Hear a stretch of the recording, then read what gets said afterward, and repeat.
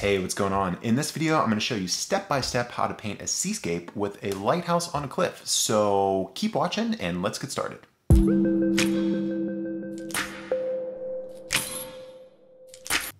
All right, everybody, welcome back. I'm Bryan McCormick, and this is Gallery Bry, where every Friday I release a new video on oil painting techniques, materials, and even art marketing. So if you want to improve your oil painting and grow your art business, make that commitment to yourself now by hitting the subscribe button and hit that notification bell so that you don't miss the videos that come out every Friday.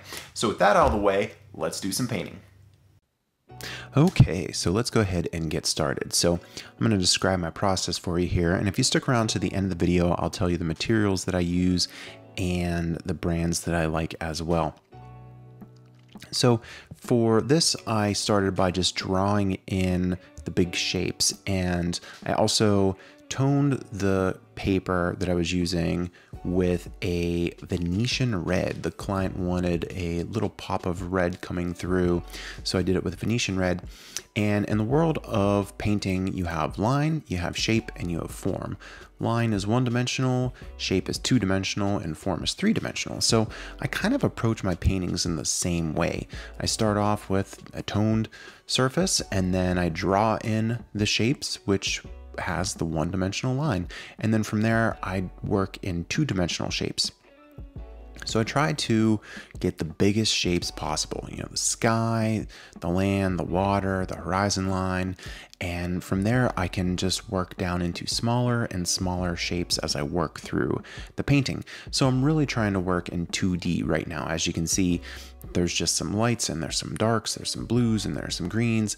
You can kind of get a rough idea of what's going to be happening here, but you don't really know exactly, you know, what the, the final detail is going to be like. And this, for me, helps kind of relieve the stress of painting, of having to focus on the details because I can know that I can always do that later on. So right here, I have all the main shapes blocked in. I've got the sky, the water, the land, and then I have the lighthouse there.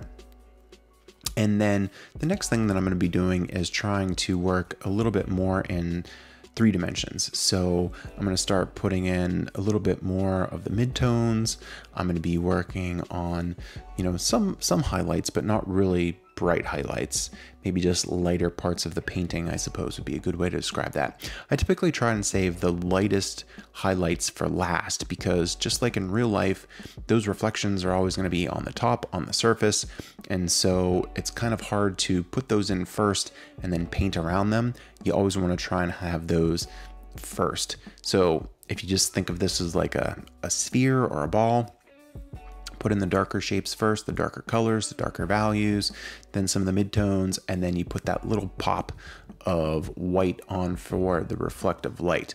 Now here I'm putting in some of the, the darker colors. Um, sometimes I put these in very first, sometimes I just kind of work through. So with a painting, it's a lot of give and take to try and judge the values. And typically though, if you put the darker values in first, you can know, okay, this is what I'm working from. This is my darkest dark color. This is the darkest value.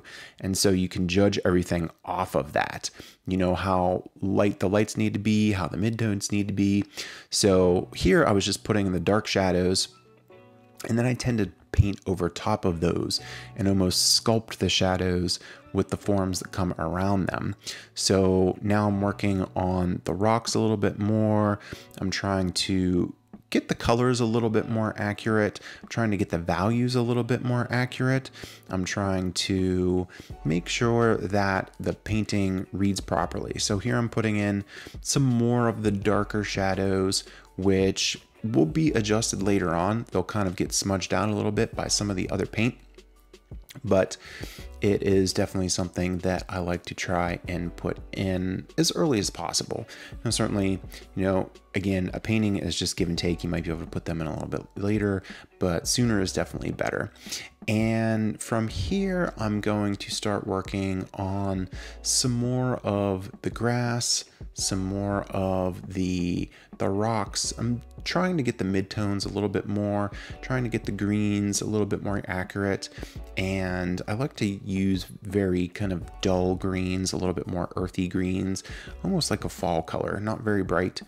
Here I'm just kind of adding a little bit more to the sky Um, and I try to work in chunks of paint. You know, if I mix a color and I see it somewhere else that it's needed in the painting, I'm gonna go ahead and add it to that particular area.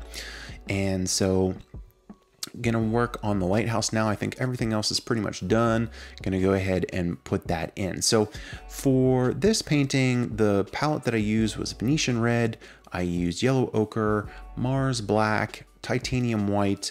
I used a Princeton Catalyst brush, which I really, really like. It's a synthetic bristle brush and I use some Galkyd gel medium which is really great. It creates an impasto effect and it dries pretty quickly. So hope you guys enjoyed this tutorial.